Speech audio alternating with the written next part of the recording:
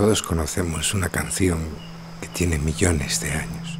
Las bramaderas o churingas usadas a lo largo de casi todo el mundo desde hace 20.000 años.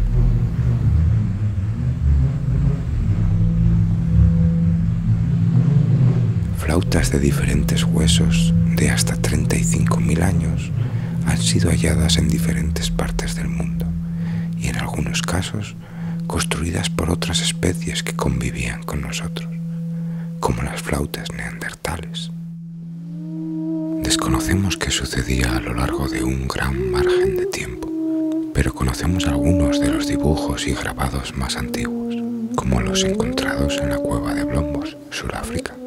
Una pequeña lasca de roca y otros fragmentos nos demuestran una capacidad de comunicación simbólica que se remonta entre 40.000 y 70.000 años.